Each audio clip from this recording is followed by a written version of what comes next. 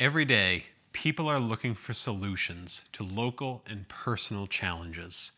What if you could get together with people who have the same goals and create something that makes your lives better?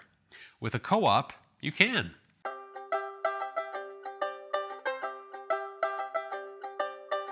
With our free, self-paced, online Introduction to Cooperatives course, you'll learn the basics of this powerful way of doing business.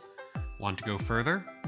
Once you've studied the basics, dive deeper with the module on Indigenous cooperatives, or take the entrepreneurship modules to get started planning your own co-op business. You'll learn a lot. Join us for the Introduction to Co-ops course to learn how you can team up on a startup.